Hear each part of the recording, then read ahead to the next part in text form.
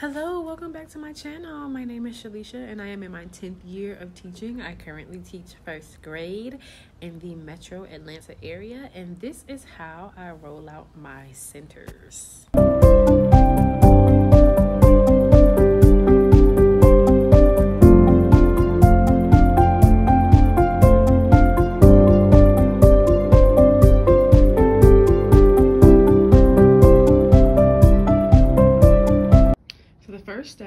Prepare the materials ahead of time. So this week we are not doing, we are learning about center rotation, excuse me. So we're not actually participating in the centers. So I am currently preparing the materials. So here are my math tubs. And the students will learn that math tubs will be housed on this shelf right here. So I'm currently preparing the materials and tip number one is to laminate everything for reuse. These are, oh, can't use that. Hold on. This is something I used in fourth grade. So can't use that, but I can use this. I'm gonna take this sheet out. I need to find the first grade version of that. This is why you prepare it ahead of time. Because if I had put that as a center, so the first week, when I roll it out, I'll do this in small groups and show them how to use the center and then they'll practice with this with the dry erase board i'm sorry with the dry erase marker and then the second week that i have this in centers they will have a worksheet that they will have to complete. So this is just the addition version. And in this uh, tub, we have the subtraction version. And I will give them um, numbers that are smaller than this. But it should be simple for them so there won't be any two digit plus two digit. It'll just be one digit numerals. And then in this one, because we are about to start our place value um, center. So because we're about to start um, working with tens and ones as a part of our first unit, they're gonna match the number card with the pineapple card. So this one says three tens, so they would find the number 30. Like this one says two tens and four ones, have the number 24. So make sure that you have it labeled and easy to word and picture directions. So for the first week, they'll once again match the cards and write their answers on this sheet, write and white. And then the next week that I've had it in the center, then they will do on a worksheet so that I can gauge whether they're actually doing the center correctly and if they are learning from the center.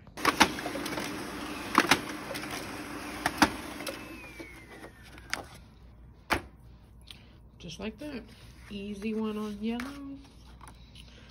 Harder on math. I mean on pink. Lord. So we've got basically one digit by one digit except for that 10 right there. And then over here, we've got two digit by one digit so they can add or subtract both of them. What's up guys? So it's a few days later. I'm currently sitting in the uh, drive through but um, I'm heading to get some organizational pieces that I need from Michaels and Target so that uh, my centers can roll a bit smoother than they did last year. Um, so that my vision can come to life, basically. So you're about to see that in just a second.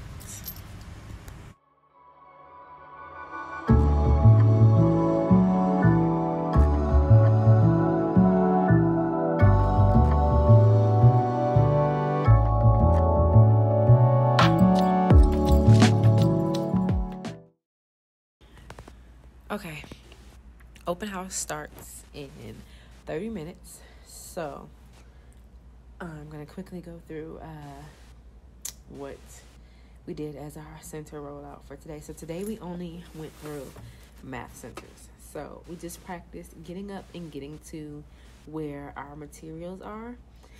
And we did that three times. And after we did that, um, then I let them practice getting the materials out and practicing cleaning up before the cleanup song ends. And we did that two times. So let me show you where our, my center things are. And then maybe you can see what that looks like. So they see this slide on the board and it shows them their group name, the name of the members of their group, and then where they are going. So we went over what each one looks like. So we have work on math. We have two groups that are doing math tubs because I have eight math tubs. We have two groups doing technology because we have the um, we have the computers in the classroom and then we also have their laptops. And then we have one group working on math journals. So I'm going to show you where work on math is, math tubs, and math journals and the routines that we practice today to get to those. So when they do work on math, they have to come and get their math folder. Their math folders are simply right here because we start with math in the morning. So they come get their math folder and they're doing the independent practice side. We learned today that when they do math tubs and they choose a tub, only two people can do a tub. So if I choose math tub one, then my friend Scarlett and I can do math tub one, but my friend Johanna cannot also do math tub one. She would have to go get math tub two. So I have two columns. They come, they get a tub, they take it to a spot in the room to work in a whisper voice on that tub. If they see their name by math journals, they'll just come to their cubby, take their math journal and their pencil box out. And they come to their cubbies to get their math journal and their pencil box simply because sometimes there's going to be cutting and pasting activities for them to do in their math journal. So they'll come here to get their math journal and then they'll come to the kidney table to get what they have to cut and paste into their journal. So tomorrow we will practice um, the practical application of doing math centers. And then I will go through the rollout of reading centers. Um, it's been difficult for me having reading at the end of the day, but I'm going to try to push through and see how that works. And then if not, then I'll make the necessary changes to have it um, earlier in the day. The only reason I haven't had it earlier in the day is because our breaks, like our specials, lunch, and recess breaks, are like right in the middle of the day, and I want it to be a period that's uninterrupted.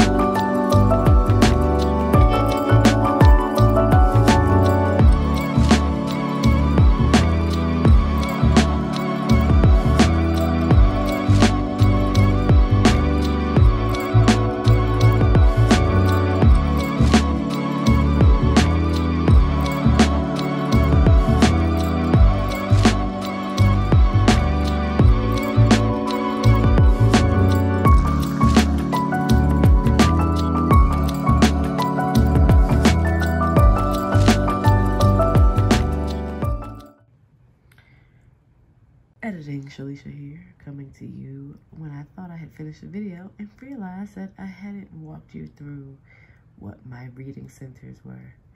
So just like math, I have six reading centers. Um, and as you can see here, we have word work, read and respond, work on writing, read to self, handwriting, and technology. Um, word work and work on writing are what you saw them working on in their trifold folders. Um, read and respond. Right now, they're just reading. Um, and that's what you saw them doing in the library. Read to self is just them listening to a book on Epic or reading a book on Epic, depending on um, their reading level currently. And then technology, they're working on Lexia or vocabulary. And I have these icons up here so they know what they can get on and what they cannot get on during reading rotations. Um, and so, yes, we do two rotations just like we do during math. Um, their group names are named after trees in math and reading. I stole that from Mrs. Call, Maylene. And then for math, they are named after um, flowers, just so they can be differentiated. Again, these icons show what they can and can't get on during math rotations. So during math, they're working on Dreambox. They can read some social studies weeklies, vocabulary. Um, and the weeks that we do, like past two weeks we've been working on social studies. So that's why social studies weekly is there. But the next two weeks we'll be working on science. So I'll change this icon out with Brain Pop and they can watch um, Brain Pop science videos during math rotations as well. So just scrolling back up so you can see.